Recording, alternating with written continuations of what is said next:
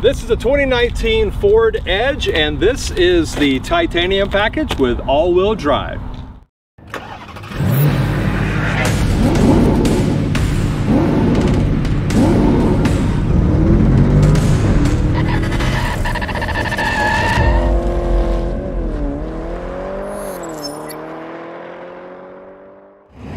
Today we're here with our friends at Chuck Spaeth Ford in New Ulm, Minnesota.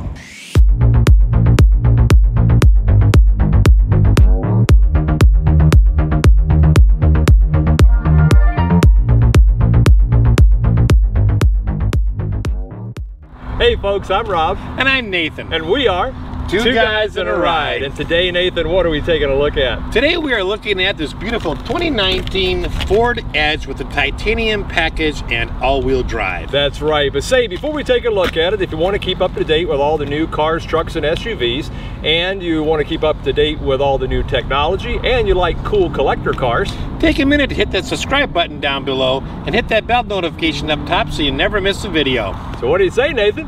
Oh, let's, let's go, go, for a ride. All right, well, today we are in the 2019 Ford Edge, which yep. has been uh, had a fresh redesign um, for uh, 2019. Mm-hmm. And uh, so, comfortable. I like the seats. Yeah, I do too. Yeah. Very easy to adjust and very comfortable. Wow. Yep, I, I like them. I've driven just a little bit in there and, and it's very comfortable. The ride itself is very nice. Um, it's it's a dampened sound in here, mm-hmm. well insulated. Yeah. Haven't noticed a bunch of you know road noise or tire noise that like non-existent really. Um, and it just keeps the you know outside traffic noise out, which is which is nice. You know, um, just climbing in, it's low to the ground. It's, it's high enough off so if you're you know in um, snow or whatever, you're gonna have some clearance. Um, but it's really easy to step in and out of, both uh, first and second row. Um, I like the fact that, um, as far as like where things are in the car, that the um, climate controls are now physical push buttons. Yeah. They're not the you know like the flat screen where you had to push. It's actually a physical button, and I really like that improvement. Um, I like the low dashboard. Yeah. And then the kind of the power domed hood coming from the sides. I mean, it's not a power dome hood, but you got the edges coming down and then a little bulge in the middle. I like that, gives you good visibility. Is getting around town. It's small enough and and uh, nimble enough to, you know, feel. It make, makes you feel very confident. I can see why it's a bestseller. Mm-hmm. Yeah, I can't get over how quiet it is. It is extremely quiet. Uh, in you know, in terms of uh, parking, again, it's got the re reverse camera, backup camera, and uh, the dynamic swivel guidelines, as well as hitch guidelines. This one does come with a, a towing package on it, um, so real easy to park, and it's, it's, not it's not a huge vehicle. So overall, is a really nice ride. I, I love how quiet it is. I love how comfortable it is how nimble it is to you know steer around town. So um, now we're gonna let Rob drive and uh, see what he thinks. All right. I like the steering wheel. It's got a little squishy squishiness to it, so it's not it's nicely wrapped, uh, but it's got a little cush to it where you can squeeze it. That's comfortable. Um, you know, we talked about it a few minutes ago. It's very quiet in here. I like it that. It is really quiet. So lots of sound deadening, and uh, very quiet. We've already had it on the highway as well, so you know you don't get a lot of road noise coming in. And um, you know a lot of safety features. I know it's got knee airbags, it's got side curtain airbags, dual front airbags. Yeah, and the fit and finish is really nice. You got a lot of soft touch materials all throughout. You got some hard touch around the uh, navigation and infotainment system and along the the center console, but that's to be expected. Uh, but other places where your hands typically and arms fall to, like the center console, you've got uh, nicely cushioned and padded areas. So we'll see what the uh, acceleration is here. Get out.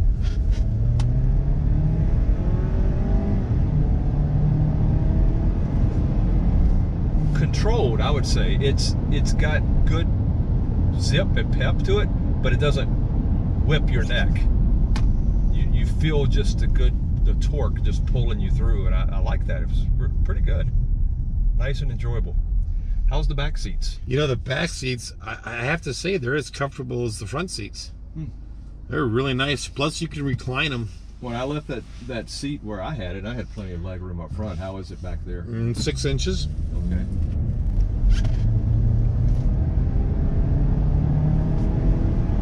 Oh boy. Putting in sport mode really does change the acceleration on it. It's a lot quicker. And the handling, you can just feel like just driving down the street regular now that it's really, it's really good now. What's really cool is I can increase the speed, but if he doesn't go any further away from me, the car won't increase speed. It's going to keep that gap that you set.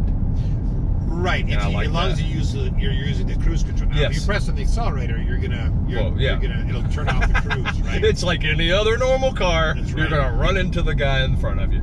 We have a red light coming and it is stopping so for me. Put your foot on the brake just to make sure. I've got it at the brake. This is a bit unnerving. Yes, it's stopping is, for is, me. Is it gonna stop it's all the way? I'm stopping hoping, for I'm me. hoping. It stopped all the way, and I have not touched the brake at all. My foot's Oh hovering gosh, over it okay. because this is blowing my That, mind. that is a little unnerving. it's interesting to note that you know Ford has four or five different adaptive cruise systems. Okay.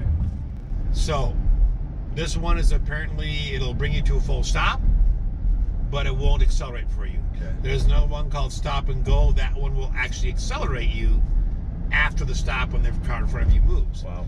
Um, so there are different versions. So you might want to check that when you purchase your vehicle as to exactly what type of adaptive cruise control it has, just so you know. Right. Okay, up next, my outside review, and then coming up after that, Nathan's going to take you for a full tour of all the gizmos and tech and features built into the inside of this Yep. car. Keep watching. Ford refreshed the midsize Edge SUV for 2019, adding both a fancier version and a edgier GT performance trim level. It also added a new transmission, smarter all-wheel drive option, and more safety uh, and sta- more standard safety tech features. Now, some of the changes for 2019 include a freshened appearance with new grille, front and rear bumpers and new wheel designs and also revised headlights and taillights. There are four trim levels for the Edge SUV, the Edge SE at $29,995, the SEL 33,300, the Titanium 38,760, and then the Edge ST starts at 42,355. This is a 2019 Ford Edge Titanium uh, SUV with full-wheel drive. Now it is powered by intercooled twin scroll 2 liter double overhead cam EcoBoost engine with auto start stop feature producing 250 horsepower and 280 pound-foot of torque. It does have intelligent all-wheel drive and is driven with an 8-speed shiftable automatic transmission. Now, out front you do have fully automatic uh, headlights that are bi-LED and are wiper activated with LED daytime running lamps. You also have LED fog lights and LED signature lighting.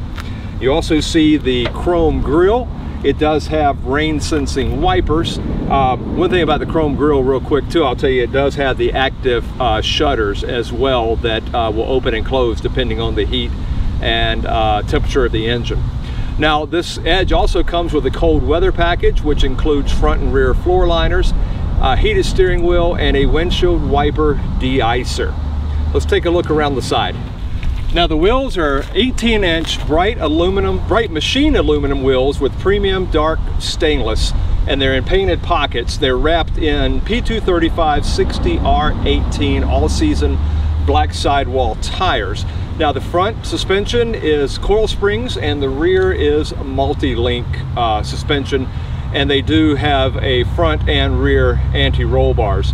This vehicle also does have the four-wheel disc brakes, 13.6 inch front rotors, 12.4 inch rear rotors, and it does have traction control. Now along the side you do see the bright beltline moldings. It does have heated mirrors with integrated turn signal indicators. It does have roof rack rails. Yes, roof rack rails. It does have the deep tinted privacy glass and on the other side, uh, the uh, fuel filler cap is on the other side and it is the uh, Easy Fuel capless filter. Now this Edge SUV does have the uh, lane departure warning. It has lane keeping assist, cross traffic alert, uh, AdvanceTrac, SOS post crash alert, driver and passenger knee airbags, uh, safety canopy and side impact, uh, impact airbags as well as the dual front airbags as well. And Nathan will show you those uh, things later. Now let's take a look out back. Out back, this does have the hands-free lift gate. It's got the fixed rear window with fixed integral wiper and the built-in defroster. You do have the LED brake lights and a class two trailer hitch with uh, trailer sway control. You also have the rear parking sensors and uh, dual stainless steel exhaust tips. Now, like I said, this does have the um, hands-free liftgate, but I can never get those things to work. It's just crazy. But anyway, the cargo volume behind the front seat is 74.8 cubic feet. Behind the, with the second row up, you've got 41.7 cubic feet. And of course, this is not a third row SUV. The cargo area width at the belt line at the top here is 63 inches. And then between the wheel housings is 45.3 inches and now they're saying the cargo box height is 34.5 inches, so almost three feet. Let's take a look at the dimensions of this vehicle. Okay, this vehicle does ride on a wheelbase of 112.2 inches with an overall length of 189 inches, width without the mirrors 75.9 inches, and its height is 68.8 inches. You do have an 8 inch ground clearance. Now the track width out front is 64.8 inches, out back it's 64.7 inches. This does have a fuel tank of 18.5 gallons and it does have a turning circle of 39.2 feet. Now the base curb weight is 4,124 pounds and its maximum trailering capacity when properly equipped is up to 3,500 pounds. Now safety. Uh, National Highway Traffic Safety Administration crash results, overall five-star rating. Price, this Edge titanium SUV is stickered at 43665 Appearance.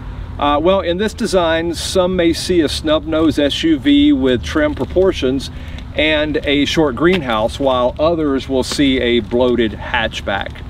Uh, dependability. Three-year, 36,000 mile bumper-to-bumper warranty with a five-year, 60,000 mile powertrain warranty and a five-year, 60,000 roadside assistance uh, program. Uh, economy, you're looking at 21 city, 28 highway with premium unleaded fuel. Okay, so why should you consider buying the Ford Edge? Well, the 2019 Ford Edge, it could be an enticing choice for smaller families uh, or for anyone who doesn't need a three, third row seating. Actually, it has more cargo capacity than many two-row SUV rivals as well. And it also has a comfortable ride and decent fuel economy. Uh, so, you know, it's got quite an appeal as a, uh, a daily commuter. So overall, very nicely done, really cool car, but you've only seen a portion of it. And I know Nathan's chomping at the bit to come in. So come on in, Nathan. I know you're gonna wanna take folks for a tour of the inside. Oh, I am. You notice he keeps the key. He doesn't let me have the key because he knows I'm gonna take it out on the road and play with it. So, all right, Nathan, take it away. All right, come on in. All right, and starting on the uh, driver's door here, you've got a three-person memory setting, your unlock and lock buttons.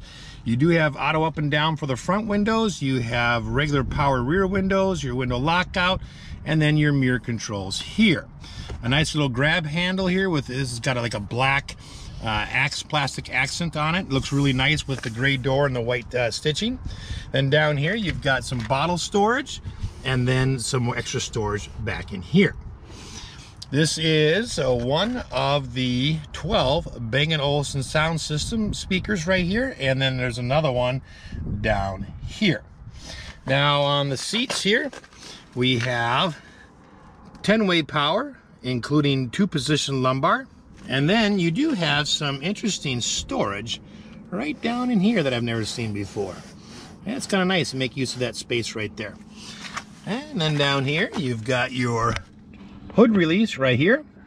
And then up moving up, You've got your auto lamps here, and you've got fog lamps, and you've got your dashboard brightness and dimness.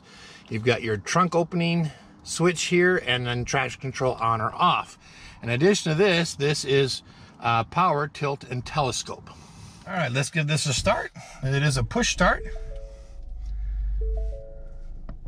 So basically, uh, over on the left, you have driver information stuff, and over on the right screen, you have got uh, things like your navigation, your media, your phone, and climate that you can uh, toggle between. So these are 4.2 inch screens on either side, and then you've got the speedometer in the middle. Moving back, over here you've got the cursor controls for the left 4.2 inch uh, driver's information screen. And over here, you've got the same four cursor arrows plus the OK button uh, for the right 4.2 inch screen. Below that, on the left, you have got your cruise control on or off, cancel. You've got set and then resume or, or, or decrease your speed or increase your speed. You've got your lane keeping assist, your gap setting for your lane keeping assist. And then over here on the right side, below the uh, cursor arrows, you've got your uh, phone on, phone off. These are also media cursors to scroll through uh, different like uh, um, radio stations. And then you've got your voice command, and then you've got mute, and then a volume button.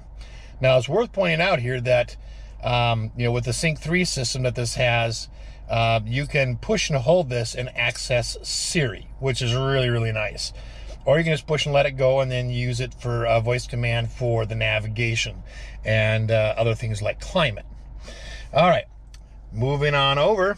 This is uh, powered by an 800 watt Bang & Olufsen sound system with 12 speakers, and it is a super nice sound. This does come with the Co-Pilot 360 Assist Plus, which includes auto emergency braking with pedestrian detection, blind spot information system with cross traffic warning, lane keeping assist, auto high beams, the reverse camera, adaptive cruise control with lane centering, and evasive steering. Okay, now evasive steering will not steer for you, but will give you extra steering control uh, should you need to make an emergency maneuver, and braking won't avoid the accident. All right, so that being said, this is all touchscreen, and the only exception being that you can use, you can see the radio changing there. That's those buttons I showed you again over here on the steering wheel. All right, moving on down the center stack down here, you have your hazards uh, button right here. And then I like this. I mentioned before on the ride that you've got physical buttons in, and for climate, and you do. So you've got auto, max, uh, uh, defrost, you've got rear defrost, um, you got your AC button, max AC, recirculatory, and then your power button. And these are all actual physical push. Whereas before, they were on a, this flat screen, and then you had to kind of just hover your finger over it and, and push the plastic. I like the physical buttons. Uh, you do also have a physical sound button that if you push, then you get all the sound stuff for your stereo. Okay? Now, moving on down here, this does come with dual heated seats, three stage on each side. You have your temperature control for the passenger, temperature for the driver, and then your fan speed control. As far as the uh, media goes, right here you've got a power on off, you got a nice volume, big volume switch, and then your seek and your tune buttons. Now, the one question that people might have is where do I sync my temperatures? So if the passengers is set theirs differently um, and the driver's is different, where do I sync them? Well, for that, you do need to go into the climate control. So you just press climate. Then up here, it doesn't say sync, it says dual. So you can see the different temperatures. If I press dual, it goes back to the previous setting.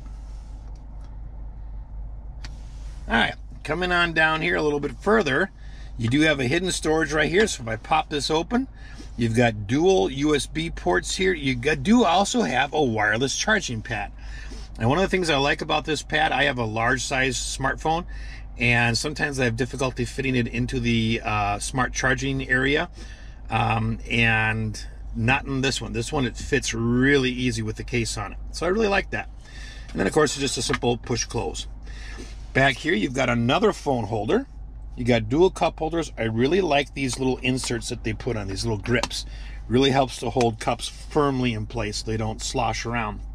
All right, and you do have a rotary dial uh, shift knob, and which is very easy. You just rotate it around. And like the other new Fords we've seen, if you uh, have it in drive and you open your, uh, you just open your door, it goes to park automatically. Which is a nice safety feature. And then of course you have your sport mode, which only shows up once you um, are in gear. And then the light, it actually has a little LED that lights up, which is nice. Okay, over here you have your parking brakes.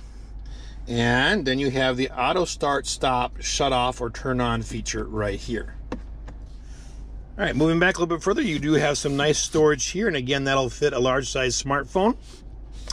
And then if I pull open the uh, console storage here, you've got a tray here. And kind of, you know, one of the things I like about this, most of these are a pull out. This just flips, right? Which is nice. You just probably don't want anything in there when you do that. Then you've got coin storage in here. And then you've got a 12 volt outlet right here. And then, maybe I'll try to see if I can get the picture of this. Move my hand out, but there's a little tray down there. Let me see if I can get the camera adjusted. Not sure you're gonna see it. But, what that is, it's really neat. Um, So, what you can do is you can take your key fob and you can set it in there. Now, if the battery is completely dead on your remote, you can set it in there and then you can start the vehicle. The other thing you can do, which is really neat, is if you're buying this second hand and you get the uh, the uh, factory code for the door uh, to unlock and lock it, and it doesn't work, you can actually retrieve your door, your original factory door code using your key fob placed in that center armrest cradle that I showed you. Well, hopefully you saw it. Uh, it was kind of dark. Um, and then you can, it'll, you go through some steps and uh, they're very easy. And then it'll show up on your uh, left screen here on your dashboard as to what your door code is.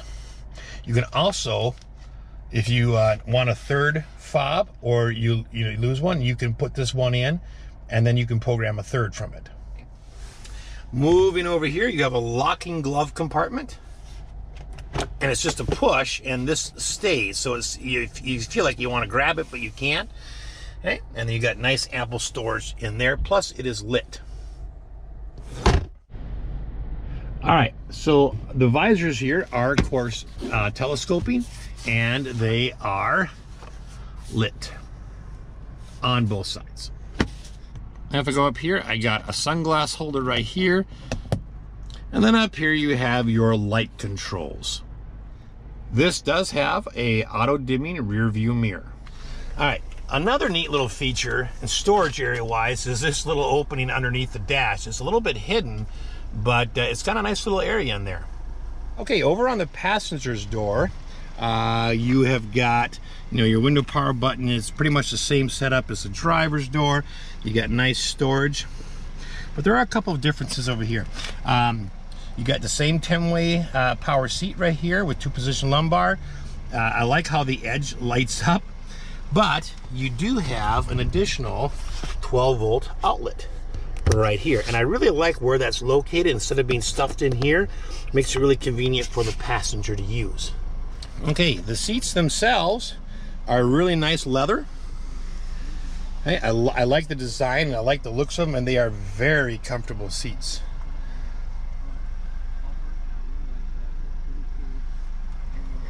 All right, so stepping into the rear, um, the doors are, are very similar, you know, to the fronts. You've got your power window, Bang & Olufsen speakers, two in the door. You do have a cup holder and then a little bit of storage on the side.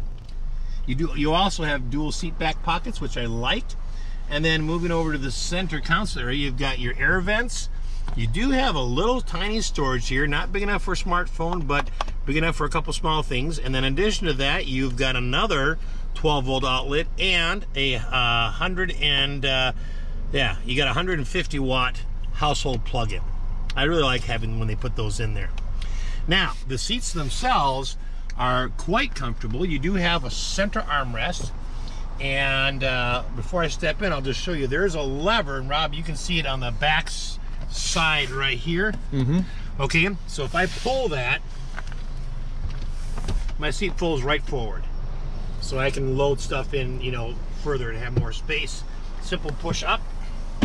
What I also like is if I pull them, I can recline the seat. And look at that angle of recline. I mean, that's quite an angle. Um, all right, so let's step in. And um, I left the driver's seat where I was comfortable, and you can see I've got, you know, close to five inches of space right here. So just oodles of space. I also like the fact that the seats, you know, come up to your, a little above your shoulders, giving you a really nice, uh, comfortable uh, place to, to rest against. Um, the headrests are adjustable. You can pull them up or down. And then, of course, um, you can do that reclining thing, which is really nice. This is this is too far for me. I'd be uncomfortable, but you know, a little bit of recline I like.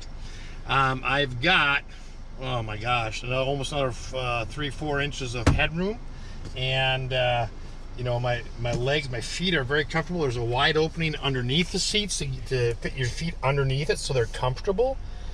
Um, that may be one of the highest rear front seats I've seen. Um, there's actually some wiggle room for your feet. But overall, a, a very comfortable seat in the rear um, and uh, would, would be very comfortable uh, for a long ride. This is the 2019 Ford. I don't know which one it is. We are taking a look at this beautiful 20. I was gonna mess it up. All All right. right. Getting used to. But it's nice. I, I mean, we're, we're a good. We, we got to be a good, probably almost 10 feet Yeah. back from that car. I may need to go buy more pants.